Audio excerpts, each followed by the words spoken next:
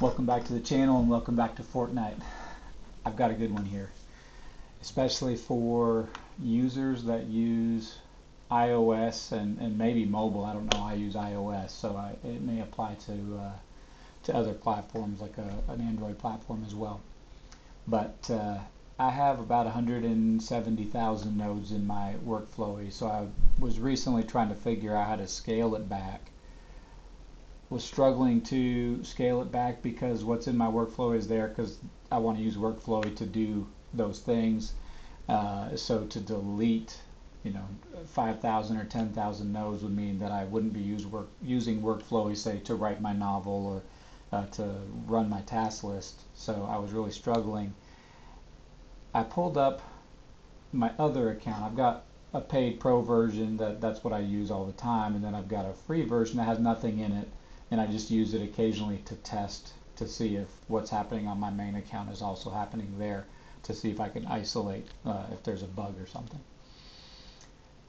So what I ended up doing, I'll cut to the chase, is I came up with uh, a, a, a, kind of a workflowy light that I call workflowy briefcase.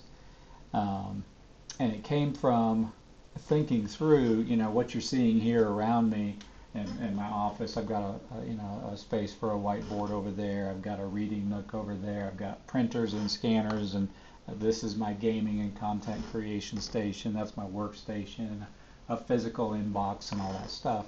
And supplies that that door over here uh, goes into a closet that has a bunch of office supplies. But when I leave the house, I can't carry all this with me as much as I would love to. Uh, but what I do carry with me is that. And in there is a laptop, a notebook, maybe a few files, um, pen, a thermos, my coffee cup, a water bottle, and a few odds and ends.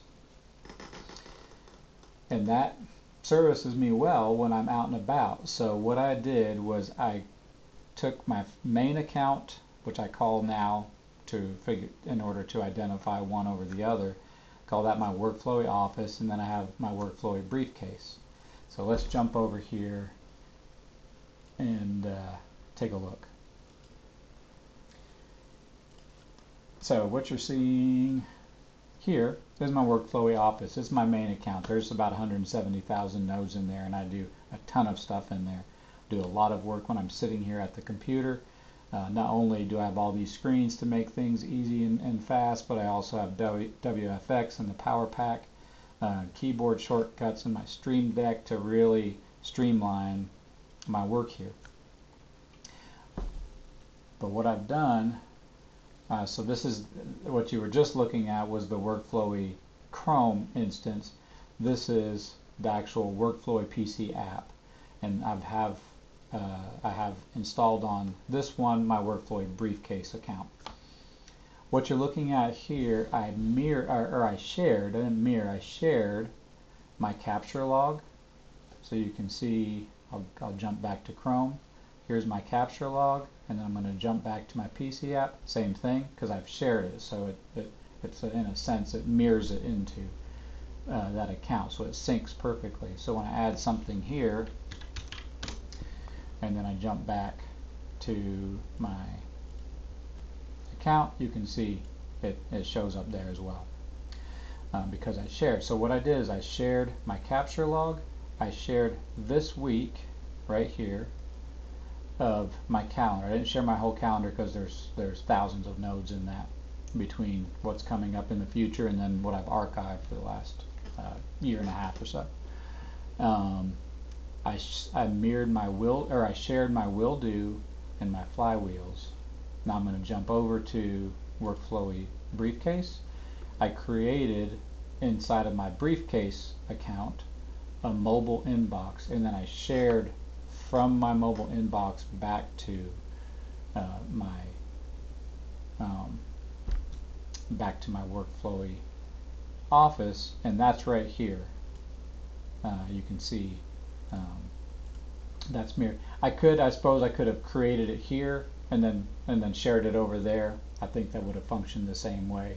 Um, but for whatever reason, uh, uh, that made sense at the time. And either way, it doesn't really doesn't really matter. I don't think. What that does for me, though, why I did that, why that's important, is because I had so many nodes, and I think because I have maybe complicated interactions in how I've created my systems. When I would open up my Workflowy app, it would take anywhere from like 17 seconds to you know more than a minute to open up, which just didn't make it very functional. Um, but now when I open it up, check this out. Let me jump to face cam. This is so exciting. Now when I open it up, instead of it taking essentially you know way too long, it just opens up automatically. Um, and so everything that you see on the PC app is right here.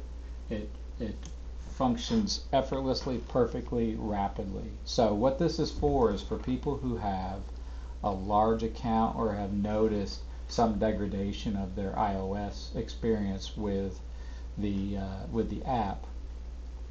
I know the team is working on that and trying to to you know to, to build some stuff that's going to make it faster and less glitchy. But for now, this works for me, uh, and maybe it'll work for you. Uh, and so what I've found is since I've done that a couple of days ago, whereas before I might only open up my iOS app 10 to 15 times a week, now I can actually build some systems that include the ability to open it up. So quickly I can open it up and jot a note on, in the inbox. I can update my capture log effortlessly. Um, I can check my tasks and check off my tasks on on the uh, on the app. Um, update a calendar if my you know if something comes up that's coming up uh, in the next you know within this next week, uh, I can quick jot that down. Uh, so it really has made it so functional that I wanted to share. So it might work for you, um, and uh, until until the team has figured out how to to to build things such that it it opens up large accounts quickly, um, this will serve uh, to to make my iOS a functional part of my Workflowy systems again, and my word for you. So hope that helps. Good luck.